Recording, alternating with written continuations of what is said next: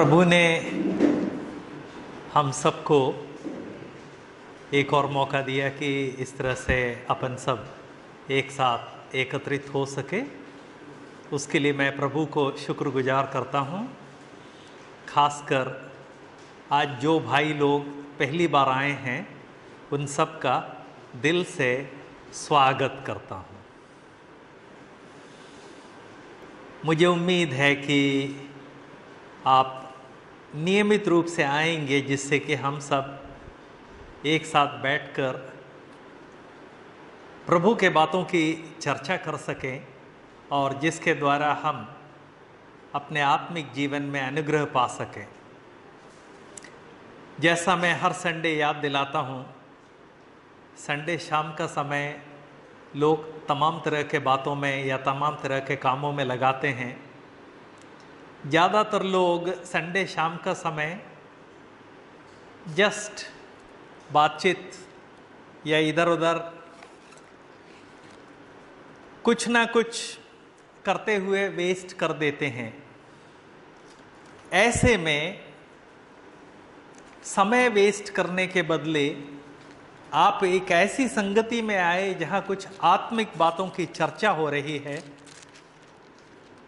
ये बहुत अच्छी बात है। और इस कारण मैं आप सब सबकी प्रशंसा करता हूँ कि आपने आत्मिक जीवन में अनुग्रह पाने के लिए इस तरह से समय निकालकर एक आत्मिक संगति में जाने के लिए निर्णय लिया। भाषा की समस्या आप सब अच्छी तरह से जानते हैं। जो लोग लोकल लैंग्वेज बोलते हैं, वो हिंदी नहीं बोलते। और जो हिंदी में हिंदी धारा प्रवाह बोलते हैं, वो लोकल लैंग्वेज नहीं बोल पाते। यह समस्या हर जगह है। लेकिन इन समस्याओं के होते हुए भी पिछले छः महीने से हम लोग नियमित रूप से इस तरह से आते हैं, आते रहे हैं, जिससे कि प्रभु की वाणी सुन सकें। और जब भी अपन इस तरह से एक साथ इकट्ठे होते हैं तो प्रभु के वचन से बहुत सारी बातें हम सुनते हैं। पहले तो गाना गाते हैं, फिर प्रभु के वचन से या पवित्र बाइबल से बहुत सारी बातों की हमने चर्चा की है।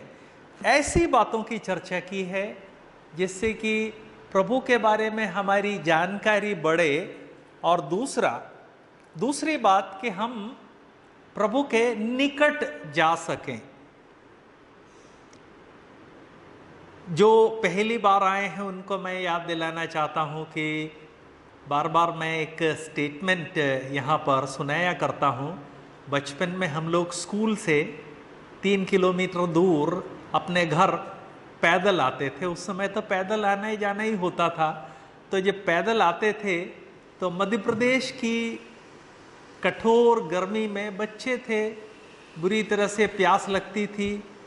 उस जमाने में तो हर जगह प्याऊ होते थे। तो एक प्याऊ जहाँ पर हम हमेशा पानी पीने के लिए रुकते थे, वहाँ दीवार पे लिखा हुआ था, जब तक है ज़िंदगी, फुर्सत नहीं मिलेगी काम से।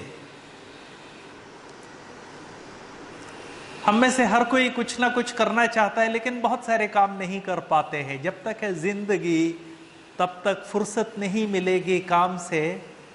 दो बात को मत भूलना। एक, मृत्यु को। दो, ईश्वर को। बचपन में जब हम उसे पढ़ते थे तो कोई खास उसमें से बात समझ में नहीं आती थी। लेकिन, एक उम्र हो गई तो उसके बाद ये बात स्पष्ट हो गई कि कोई भी व्यक्ति जो आया है उसको जाना पड़ेगा। वो अपने आप को रोक नहीं सकता है और इसलिए वो जो स्टेटमेंट था ना, दो बात को भूलना मत। जो चाहे कल्याण, एक है मौत को और दूसरा है प्रभु को।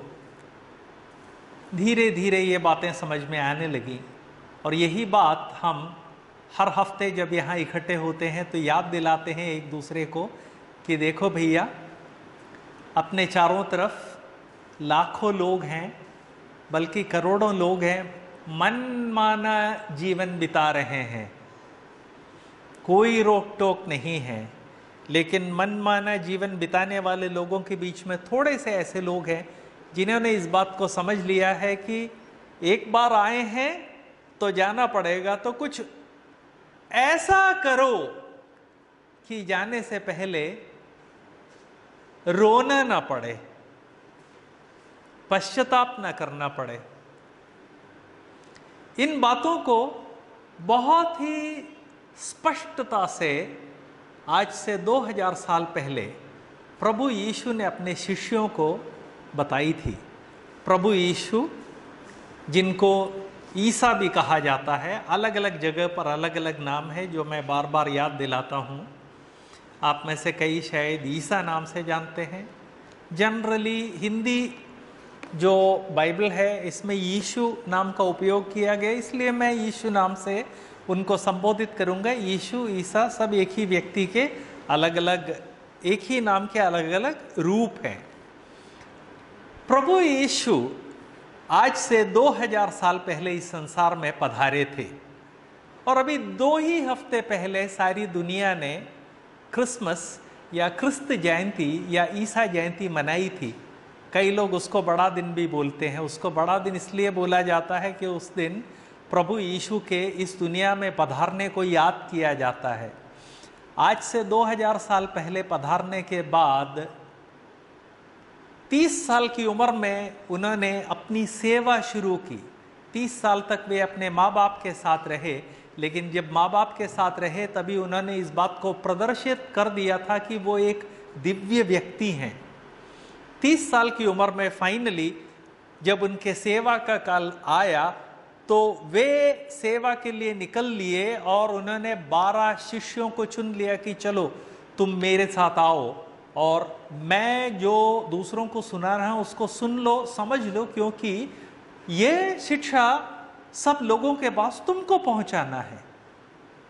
ये बारह शिष्य जो थे, उनमें से एक शिष्य का नाम था संत थोमा।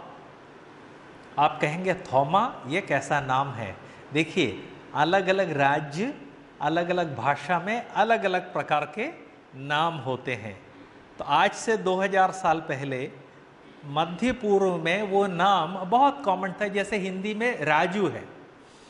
राजू नाम आप चाहे केरल में आए या मध्य प्रदेश में आए, उत्तर प्रदेश में, बिहार, उड़ीसा, सब जगह राजू नाम चलता है। लेकिन यही नाम अमेरिका में ले जाके किसी को बता देंगे तो वो पूछेगा कि ये कैसा नाम है ठीक है? तो प्रभु के एक शिष्य थे बारह जिनमें से एक का नाम था थोमा। आज से लगभग 2000 साल पहले प्रभु के संदेश को लेकर इस केरल में पहुँचे थे। यहाँ से मुझे लगता है एक आ, तीस एक किलोमीटर उत्तर की तरफ़ एक प्रदेश है कुड़ंगलूर। वहाँ किसी जमाने में उसके पास तक पानी के जहाज़ आया करते थे। अब नहीं आते हैं, क्योंकि नदी का पानी अब गहरा नहीं रह गया है। 1700 ईस्वी के आसपास एक भूकंप हुआ था केरल में। उस भूकंप के कारण नदी की गहराई कम हो गई और जहाज़ आना बंद हो गए, लेकिन लगभग 1700 ईस्वी तक पानी के जहाज़ वहाँ आते थे और प्रभु यीशु के जो बारह शिष्य थे, उस, उन शिष्यों में से संत थोमा नाम के व्यक्ति प्रभु यीशु का संदेश लेकर यहाँ से 30 किलोमीटर दूर एक प्रदेश में आए थे और उन्होंने लोगों को अपनी शिक्षा दी। ठीक है, ये तो हो गया बैकग्राउंड। अब आज मैं प्रभु यीशु के बारे में एक विशेष बात बताना चाहता हूँ। प्रभु की एक विशेषता थी। वो आम आदमी से मिलना बहुत पसंद करते थे।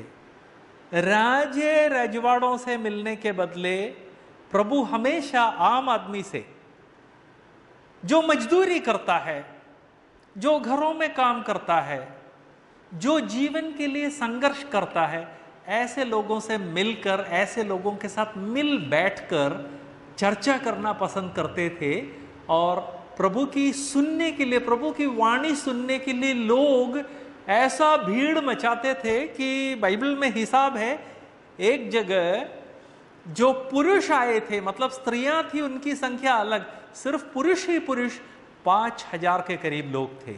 ऐसे लोग टूटते थे प्रभु की वाणी सुनने के लिए। और प्रभु जब उन लोगों को शिक्षा देते थे तो बहुत ही सरल कहानियों के द्वारा शिक्षा देते थे, जिनमें से एक कहानी आज मैं पढ़ के आपको सुनाना चाहता हूँ।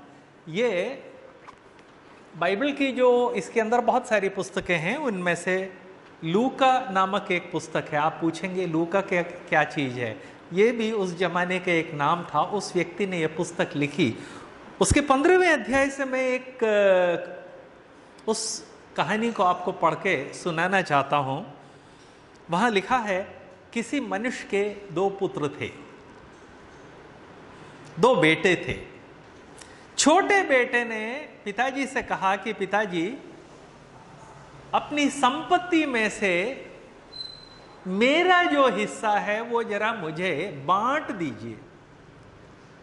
एक बात बताइए किसी परिवार में जब बाप ने पूंजी लगाई, बाप ने धंधा किया और बाप ने मुनाफा या फ़ायदा कमाया और एक दिन छोटा बेटा कहता है कि संपत्ति में मेरा हिस्सा, उसका हिस्सा क्या है? कहाँ से आया? पूंजी उसने नहीं लगाई, प्रॉपर्टी उसकी नहीं थी।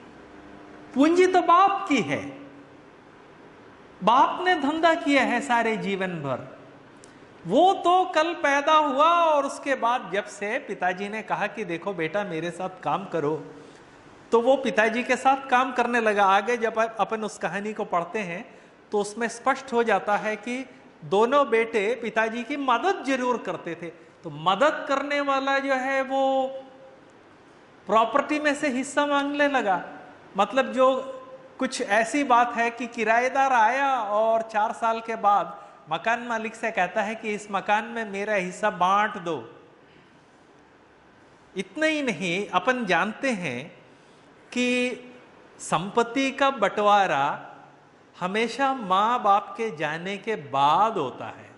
हर जगह हर जगह संपत्ति का बंटवारा। थोड़े से माँ बाप है जो अपने ज़िंदा रहते हुए अपनी प्रॉपर्टी बांट देते हैं। लेकिन ऐसे लोग कम हैं और जनरली वो ही लोग बांट सकते हैं, जिनके पास इतनी संपत्ति हो कि बांटने के बाद भी अपने पास काफ़ी कुछ बचा रहे। वरना, ये हम सब इस बात को अच्छी तरह से जानते हैं कि बंटवारा तो बाप माँ के और बाप के जाने के बाद होता है और इसलिए बाप के ज़िंदा होते हुए यदि बेटा कहता है कि आप प्रॉपर्टी का बंटवारा कर दीजिए तो बेटा ये कह रहा है कि अब आप चले जाइए। मुझे आपकी ज़रूरत नहीं है। ये बहुत ही एक प्रेम करने वाले, एक स्नेह करने वाले बाप के लिए, एक पिता के लिए बहुत ही इंसल्ट का काम है। इतना ही नहीं, एक बात और। यहाँ पर उसने एक और गलत बात बोली, इसको ध्यान से सुने। उसने ये नहीं कहा कि पिताजी प्रॉपर्टी का बंटवारा कर दीजिए। उसने कहा प्रॉपर्टी में जो मेरा हिस्सा है, वो मुझे दे। उसका हिस्सा कहाँ से? अरे कल तो पैदा हुआ। फादर थोड़, पिताजी के कुछ साल उसने मदद की होगी, अपने उसका हिस्सा हो गया क्या? उसने थोड़ी पूंजी लगाई थी, जैसा मैंने पहले कहा। तो बाप का इंसल्ट करते हुए वो पिताजी से प्रॉपर्टी का हिस्सा माँगता है। यहाँ दो भाई हैं, एक पिता है।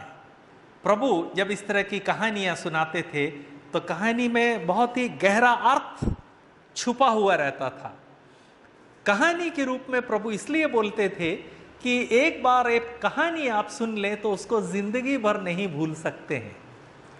मुझे तो अभी भी वो कहानियाँ याद हैं जो मेरी मम्मी ने मुझे तब सुनाए थे जब मैं सिर्फ़ तीन साल का था।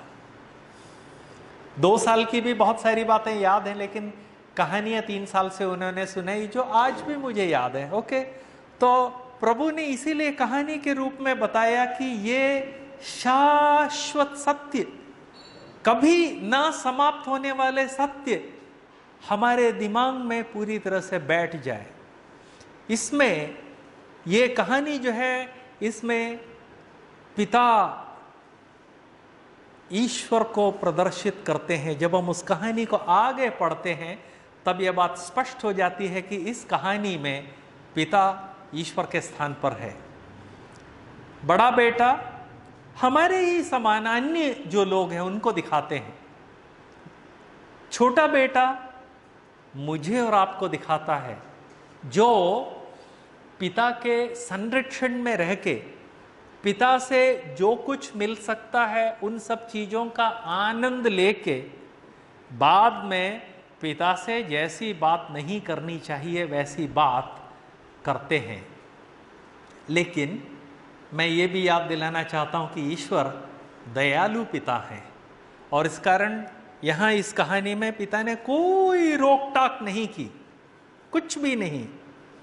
यहाँ लिखा हुआ है कि पिता ने उनको अपनी संपत्ति बांट दी, उनकी संपत्ति नहीं। बेटे ने कहा कि उनकी संपत्ति बांट दें। उनकी नहीं थी। संपत्ति पिता की थी, लेकिन पिता दयालु थे और इस कारण उन्होंने अपनी संपत्ति बांट दी। आज से कुछ हफ़्ते पहले मैंने ये बात आपको बताई थी कि प्रभु हम में से हर व्यक्ति को लेकर जाँच पड़ताल करके हमारे विश्वास को जाँच कर, हमारे विश्वास को और मज़बूत करते हैं। इस बेटे ने जो बात मांगी थी वो गलत थी। इसके बावजूद पिता के कंट्रोल में सब कुछ था। पिता जानते थे कि उनको क्या करना है। लेकिन वो चाहते थे कि बेटा सच्चाई समझ जाए और इस कारण उन्होंने संपत्ति अपनी संपत्ति उनको बांट दी, ठीक है? आगे हम पढ़ते हैं, बहुत दिन ना बीते थे कि छोटा पुत्र सब कुछ इकट्ठा करके दूर देश को चला गया। इकट्ठा कैसे करेगा? उस समय तो संपत्ति जो है, वो जानवरों के रूप में होती थी। वो लोग ऊँट पालते थे, गधे पालते थे, गाय बैल पालते थे। और जितनी संपत्ति एक आदमी की होती थी, वो जानवरों के रूप में होती थी और बाकी संपत्ति ज़मीन के रूप में होती थी। आप ना तो जानवर, ना ज़मीन जो है उसको पोटली में बाँध के आप दूर नहीं जा सकते। इसका मतलब है कि पिताजी ने संपत्ति बांट दी, बेटे ने जल्दी से जल्दी जो पैसा मिल सकता था, उतने पैसे में सारे जानवर बेच दिए, सारे ज़मीन बेच दिए और उन सबको धन के रूप में कन्वर्ट करके थैलिया में डाला और विदेश चला गया, विदेश क्यों चला गया? इतने धनी आदमी का पुत्र, जिसको घर में किसी चीज़ की कमी थी, नहीं थी। आगे हम पढ़ते हैं तो देखते हैं किसी चीज़ की कमी नहीं थी। सारी प्रॉपर्टी को बेच बाच के विदेश क्यों चला गया? एक कारण था उसके जीवन। उसके, उसकी, उसके जीने का जो तरीका है, उससे हमको मालूम पड़ जाता है। देखिए, आगे हम पढ़ते हैं। छोटा पुत्र सब कुछ इकट्ठा करके मतलब बेच बाच के पैसे में कन्वर्ट करके दूर देश को चला गया और वहाँ कुकर्म में अपनी संपत्ति उड़ा दी। मतलब उसको इतने धनी व्यक्ति के मतलब इस सारे विश्व के मालिक के घर में, उसके बेटे के रूप में जब वो रह रहा था, तब उसको एक बात की आज़ादी नहीं थी। बुरे कर्म, कुकर्म का मतलब है बुरे कर्म। उसको लगता था कि देखो, यहाँ रोज उठना पड़ता है, रोज सुबह दुआ करनी पड़ती है माँ बाप की आज्ञा माननी पड़ती है, अच्छे रास्ते पर चलना पड़ता है, अच्छे लोगों से दोस्ती करनी पड़ती है। नहीं। ये सब जो है गुलामी है। मैं इस गुलामी से छूटना चाहता हूँ और मैं ऐसी जगह जाना चाहता हूँ जहाँ ना तो मेरे बाप, ना मेरी माँ ना मेरे बड़े भाई की नज़र हो, वहाँ जाकर मैं मन माना जीवन बिताना चाहता हूँ। यह है इस कहानी का सार। ठीक है, जो ईश्वर से मिला था, उसका उपयोग करके उसने ईश्वर के विरुद्ध जीवन बिताया। और मैं आज आपसे यही बात पूछना चाहता हूँ, मेरे प्रिय भाई बहन, हम सबको जीवन ईश्वर से मिला है। जीवन इस संसार में सबसे बड़ी संपत्ति है। आप कहेंगे कि, ब्रदर, मेरा जीवन तो बहुत कठिन जीवन है, इसको आप संपत्ति कैसे कहते हैं? कठिन हरेक का जीवन है। आपको आपका जीवन कठिन लगता है, मुझे मेरा जीवन कठिन लगता है। यहाँ जो केरल है, इसकी लोकल भाषा में एक कहावत है।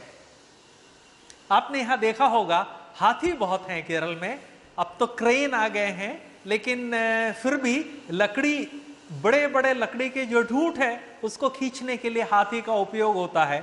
इसलिए यहाँ की लोकल भाषा में एक कहावत है कि हाथी को पेड़ भारी लगता है, क्योंकि कटे हुए पेड़ों को हाथी खींचता है। हाथी को पेड़ भारी लगता है, लेकिन चींटी को चावल भारी लगता है। मतलब एक पेड़ के कंपैरिजन में जरा सा चावल उसमें क्या वज़न है? मैं और आप एक चावल यहाँ रख के फूक देंगे तो वो उड़ जाएगा। लेकिन चींटी जैसे अल्प प्राणी के लिए वो भारी है। इसी तरह से है जीवन। मेरा जीवन मुझे भारी लगता है, आपका जीवन आपको भारी लगता है। मेरे दोस्त को अपना जीवन भारी लगता है।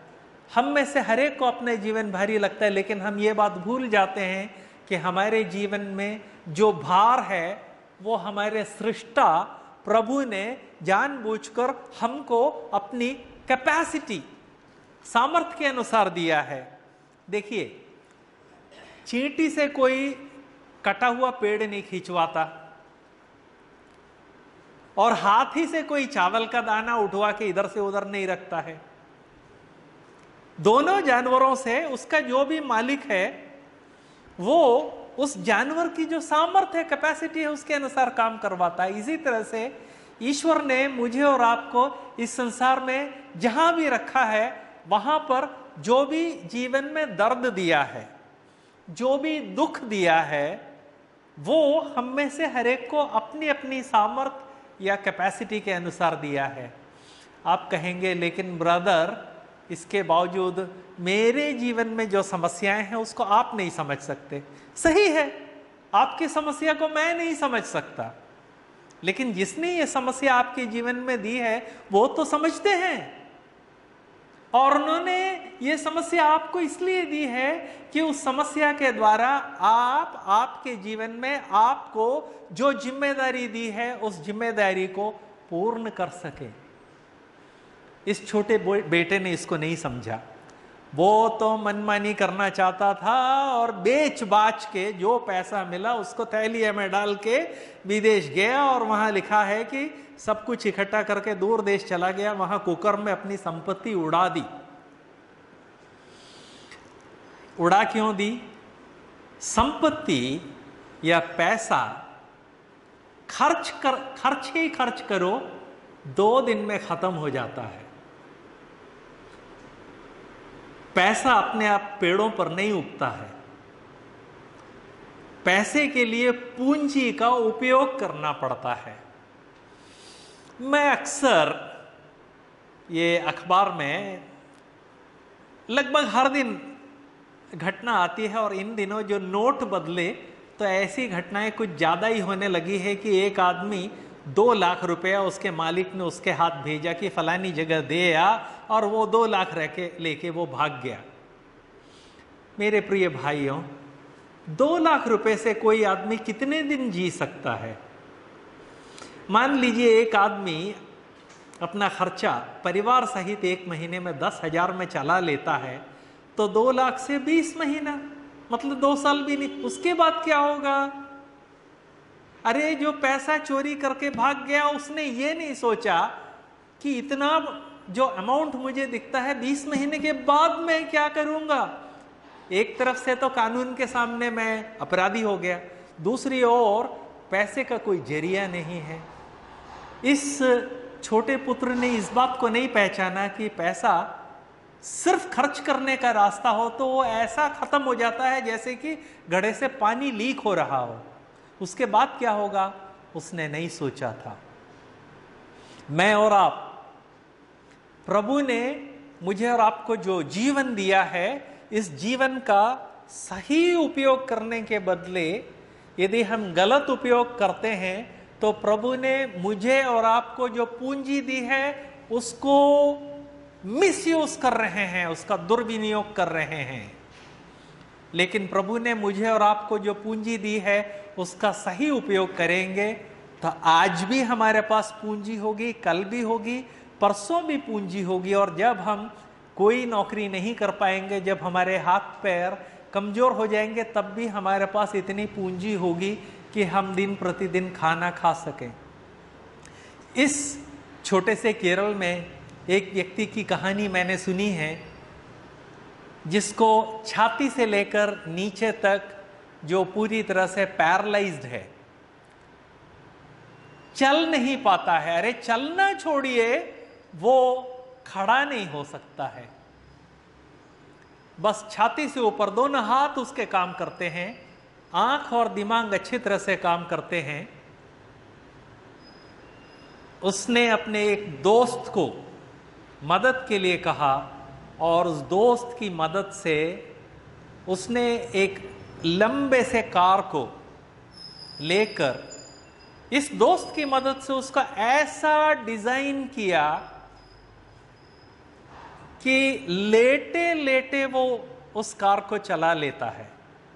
मतलब वो, उस कार में ऐसा सीट उसने लगाया कि वो उसमें अध लेटा रहता है, जिससे सामने देख सकता है, दोनों हाथों से वो स्टीयरिंग व्हील भी कंट्रोल करता है ब्रेक भी कंट्रोल करता है क्लच भी कंट्रोल करता है एक्सलरेटर भी कंट्रोल करता है। सिर्फ़ इतना ही नहीं, जब वो इस तरह से कार से ये आदमी जो जिस, जो ज़िंदगी भर जिसे बिस्तर पर पड़ा रहना है, उसने डिज़ाइन करके ना केवल अपने लिए कार बनाया, जब उसने इस कार की जानकारी अखबार वालों को दी तो अखबार वालों ने उसके बारे में सब जगह खबर पब्लिश किया तो पचासों रिक्वेस्ट आए कि हमारे लिए भी डिज़ाइन कीजिए, हमारे लिए भी डिज़ाइन कीजिए, हमारे लिए भी डिज़ाइन कीजिए। और इस तरह से जो लोग चल फिर नहीं पाते थे उन लोगों के लिए उनकी ज़रूरत के और उनकी सामर्थ्य के अनुसार वो गाड़ी चला सके। इस तरह की गाड़ियों को उसने डिज़ाइन करना शुरू किया और इस तरह से डिज़ाइन करके वो लखपति और करोड़पति बन गया। वो कह सकता था, ईश्वर ने मेरे साथ कैसा अन्याय किया है? नहीं। उसने इस बात को समझा कि उसके जीवन में ईश्वर ने जो कमज़ोरी दी है, उस कमज़ोरी के साथ साथ उसको बुद्धि भी दी है। और उसके दो मज़बूत हाथ दिए हैं, जिससे कि वो ईश्वर की मदद से अपने स्वयं की मदद करे और पचास और लोगों की मदद कर सके। इस तरह से उसको ईश्वर ने बुद्धि के रूप में जो पूंजी दी थी, उस पूंजी को लेकर, उसके जीवन में जो परेशानी थी, उस परेशानी का हल करने के द्वारा उसने अपनी परेशानी और पचासों लोगों की परेशानी के लिए हल निकाल दिया। जीवन समय बर्बाद करने में नहीं है, समय ईश्वर की इच्छा के अनुसार उपयोग करने में जीवन में अर्थ आता है। इस छोटे बेटे ने इस बात को नहीं समझा। उसको लगा कि मैं अपनी इच्छा के अनुसार जीवन नहीं बिता पा रहा, इसलिए मेरे जीवन में कोई खुशी नहीं है। दूसरी ओर ये आदमी जो पूरी तरह से पैरालाइज है, उसने अपने जीवन में इतनी परेशानियाँ होते हुए भी वो ईश्वर ने उसको जो बुद्धि दी थी, उसकी मदद से उसने अपने जीवन में खुशी पैदा की। रिज़ल्ट क्या हुआ, इसको भी देखें। जो हम जहाँ भी अपनी पूंजी लगाते हैं, उसका असर भी होता है। यहाँ लिखा हुआ है, चौदह, जब सब कुछ खर्च खर्च कर चुका तो उस देश में बड़ा अकाल पड़ा। जो व्यक्ति अपनी पूंजी सही रीति से उसका निवेश करता है, उसका उपयोग करता है, चाहे देश में हर तरह की समृद्धि हो या देश में अकाल हो, उसके पास हमेशा कुछ कुछ ना कुछ रहता है। इसने तो जो इसके पास था, उसको बर्बाद कर दिया और उसके बाद अकाल पड़ा। क्या हुआ? उस देश के निवासियों में से एक के यहाँ जा पड़ा। उसने उसे अपने खेतों में सुअर चराने के लिए भेजा। प्रभु यीशु ने जब ये कहानी सुनाई थी, उस समय यहूदियों के लिए सुअर एक वर्जित जानवर था। पूर्ण रूप से वर्जित जानवर था।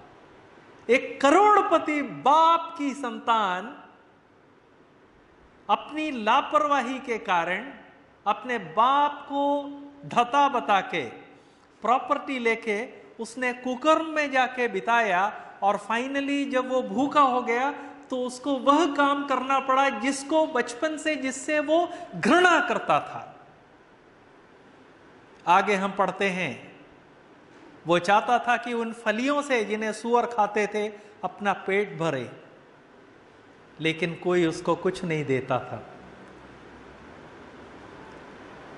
उस इलाके में एक विशेष प्रकार की फली होती थी। मैंने यही फली राजस्थान इलाके में देखी है। हर जगह झाड़ियों के रूप में वो लगी रहती है। उसको यदि आप काटेंगे उसको चबाएँगे तो उसमें एकदम से मिर्ची जैसा टेस्ट आता है। उसको सिर्फ़ सुअर जैसा जानवर ही खा सकता है। तो काट काट के वो सुअर को जो खिलाया जाता था, ये इतना भूखा हो गया था, वो चाहता था कि वो फली जिसको सिर्फ़ सुअर जैसा जानवर खा सकता है, जिसको मनुष्य अपनी जीप पर नहीं लगा सकता, उसमें से चार फली मिल जाए तो मैं खा लू। मेरे प्रिय दोस्तों, भाइयों, बहनों, ईश्वर मेरे और आपके जीवन में जो कुछ देते हैं, वो पूंजी है। आप कहेंगे कि मेरे जीवन में तो बहुत कठिन बातें प्रभु ने जी हाँ आपको जो कठिन बातें दी हैं, वो भी प्रभु के द्वारा दी गई पूंजी है। जिस तरह से वो आदमी जो पैरलाइज था, उसने अपने जीवन को पूंजी के रूप में यूज़ किया, अपनी बुद्धि के द्वारा। उसी तरह से आपके जीवन में जो कुछ ईश्वर ने दिया है, वो आपकी पूंजी है। लापरवाही से उसको यदि उड़ा देंगे तो फाइनली मेरी और आपकी स्थिति वही होगी, जो इस पुत्र की थी, जो सुअर का भोजन खाना चाहता था वो भोजन भी कोई उसको देने के लिए तैयार नहीं था। यहाँ लिखा हुआ है कि कोई उसको नहीं देता था। उसे कोई कुछ नहीं देता था। सत्रह। तब उसको होश आया। जब उसको होश आया, तब वो कहने लगा, मेरे पिताजी के घर में कितने ही मजदूरों को, मजदूरों कहें, बेटे को नहीं, मजदूरों को भोजन से अधिक रोटी मिलती है। मजदूरी अलग। यहाँ उनकी मजदूरी के बारे में नहीं लिखा है।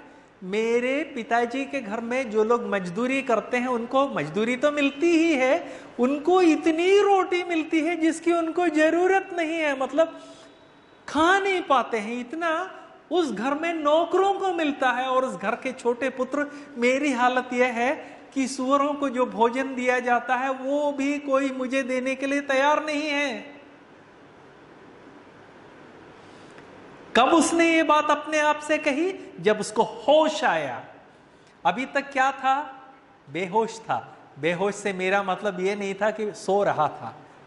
जीते जीते में आ, खुली आँखों के द्वारा खुली आँखों के साथ रोज के जीवन में जब हम काम करते हैं, तब भी ऐसा हो सकता है कि हमको होश न हो।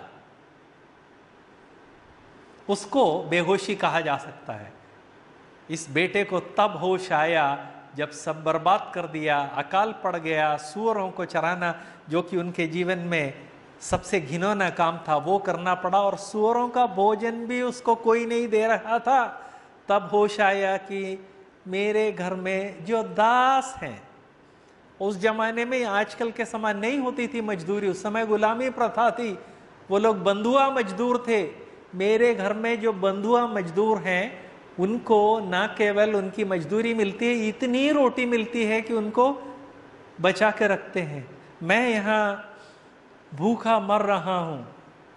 जब उसको ये होश आया, तब उसने अगली बात कही। क्या उसने अगली बात कही? मैं अब उठकर पिताजी के पास जाऊँगा।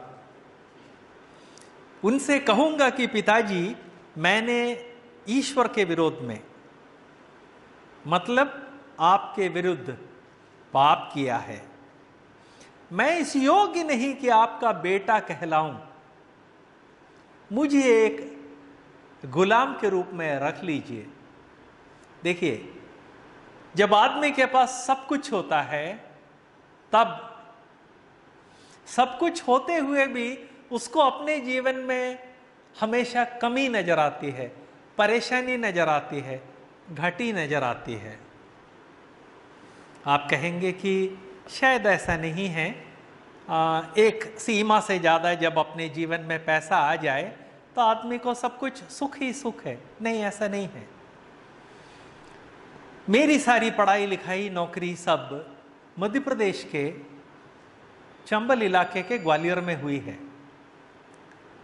ग्वालियर के कई नगर सेठ, करोड़पति, मेरे क्लास फेलोज थे।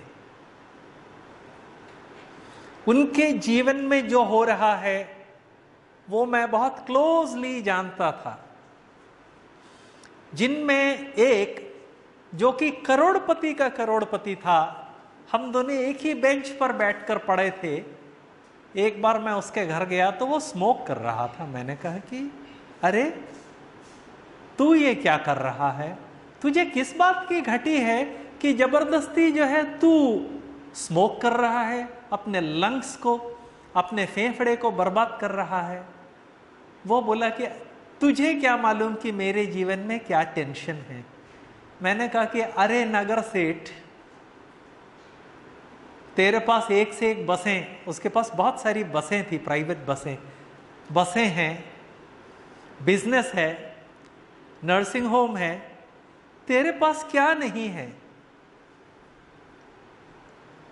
तो लोगों को खरीदता बेचता है। वो मुझसे कई बार कहता था कि इवन मैं जज लोगों को अपनी इच्छा के अनुसार खरीदता, बेचता हूँ। सही है या गलत, मुझे नहीं मालूम, लेकिन ये अक्सर मुझसे कहता था।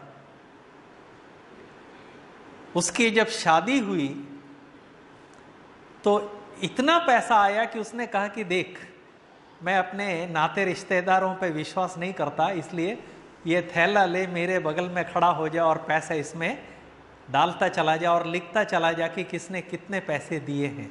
इतना बड़ा नगर सेठ था।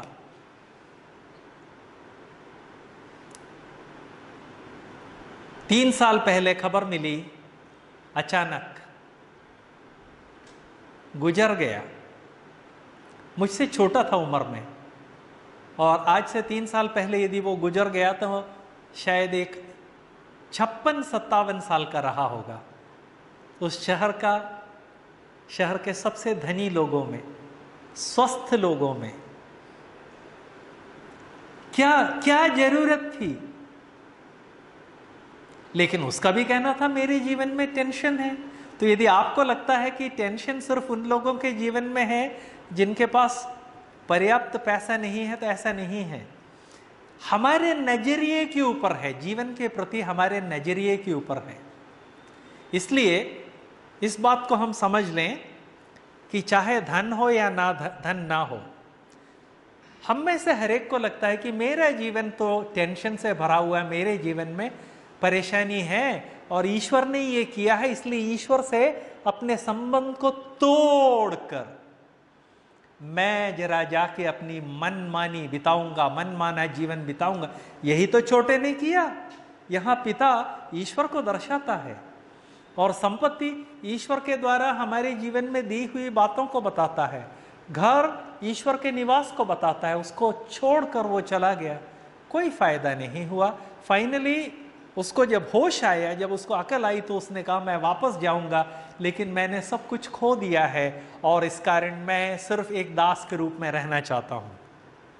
तब वो उठकर अपने पिता के पास गया। वो अभी दूर ही था कि उसके पिता ने उसको देखकर तरस खाया और दौड़कर उसके गले लगाया और बहुत चूमा।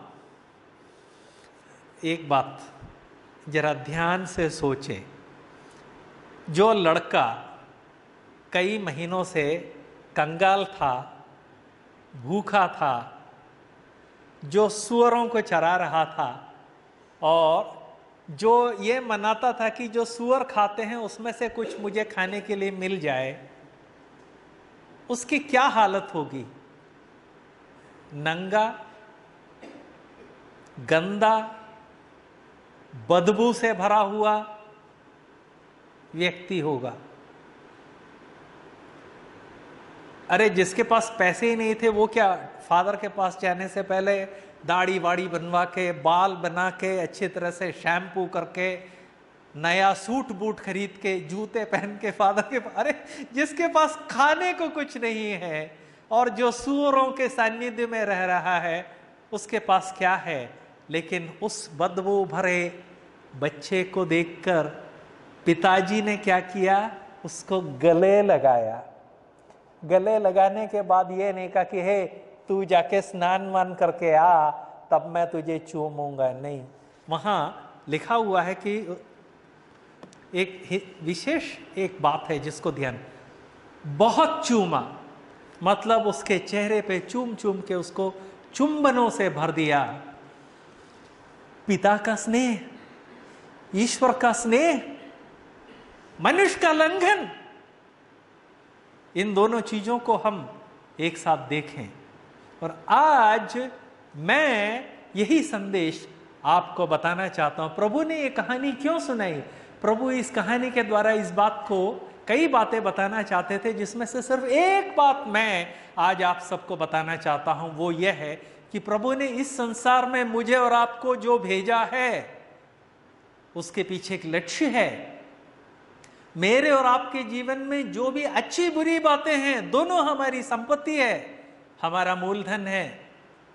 लेकिन प्रभु की इच्छा के अनुसार हम जीवन बिताएँगे या नहीं बिताएँगे, ये इस बात पर डिपेंड करता है कि मेरा और आपका नज़रिया क्या है, सोचने का तरीका क्या है। इस घटना के द्वारा प्रभु ने एक बात और हमको बताने की कोशिश की, जिसके बारे में प्रभु अपने सेवा पर्व में बार बार लोगों को बताते थे कि देखो, मेरे बेटे, मेरी बेटी, इतने साल तुमने अपने जीवन के इतने साल अपनी इच्छा के अनुसार बिताया। अब मैं तुम्हारे सामने आ गया हूँ, खड़ा हूँ। मैं तुमको यह बताना चाहता हूँ कि तुम्हारा ये जो जीवन है, इस जीवन से मैं तुमको छुटकारा, बचाव, मुक्ति देना चाहता हूँ। मेरे पास आओ तो। बिना आए मैं कैसे तुमको मुक्ति दे सकता हूँ? ऐसे भी कई बेटे होते हैं जब तक उनको होश नहीं आता है तब तक यदि उनका आप सब ले जा जाके दें तो उठा के फेंक देते हैं। मैं मैंने देखे हैं ऐसे बच्चे। इसलिए प्रभु ने पिता ने तब तक इंतज़ार किया जब तक बेटे को होश ना आ जाए। आज प्रभु यीशु मुझसे और आपसे यही कहते हैं कि मेरे बेटे मेरी बिटिया इस संसार में पिछले 20, 25, 30 या 40 साल तुमने बिता लिए है ना? अपनी इच्छा के अनुसार बिता लिया। जैसा जीवन बिताना चाहते थे, वैसा बिताया। संतोष मिला क्या? खुशी मिली क्या? तुम्हारे जीवन में कुछ स्थायी परमानेंट आनंद आया क्या? नहीं आया तो मेरी बेटी, मेरे बेटे, इस बात को समझो कि तुम्हारे जीवन में यदि स्थायी परमानेंट आनंद नहीं आया, वो इसलिए नहीं आया कि आज तक तो तुम अपने रास्ते पर दौड़ रहे हो, तुम अपनी दिशा में जा रहे हो। छोड़ दो। सोचो, पलट जाओ, पश्चाताप करो, मेरे पास वापस आओ, मैं दूँगा तुमको जीवन। और जिस तरह से पिता ने उस बदबू से भरे हुए बेटे को गले से लगाकर उसका मुँह चुंबन से भर दिया, प्रभु यीशु, मुझे और आपसे प्रेम करके, प्रेम के कारण, प्रभु, मुझे और आपको एक नव जीवन देना, नया जीवन देना चाहते हैं। इसीलिए तो आज से 2000 साल पहले प्रभु ने सूली पर अपना जीवन दिया था। प्रभु ने बार बार कहा था, तुम्हारे लिए मैं अपना जीवन दूँगा, मैं अपना बलिदान करूँगा, जिससे कि तुम नया जीवन पा सको। मैंने वो नया जीवन पाया है। ये मैं इस कांग्रेगेट इस सभा में कई बार बता चुका हूँ।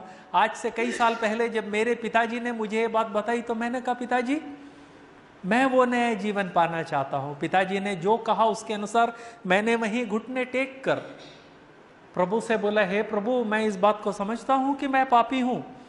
और मैं अपने आप को बचा नहीं सकता। जिस तरह से उस बेटे ने समझा कि वो अपने आप को बचा नहीं सकता, उसको पिता के पास जाना है, उसी तरह से मैंने कहा, प्रभु, मैं इस बात को समझ गया हूँ कि मैं अपने आप को नहीं बचा सकता। मुझे आपकी ज़रूरत है। आपके द्वारा दिए गए एक नए जीवन की ज़रूरत है। सी इस बेटे के जीवन में भी एक नया जीवन मिला। कब? जब उसको होश आया, जब उसको अकल आई और उसने सुअरों को छोड़कर जब वो अपने बाप के पास गया, उसको एक नया जीवन मिला। यहाँ लिखा हुआ है, पिताजी ने कहा, ले जाओ।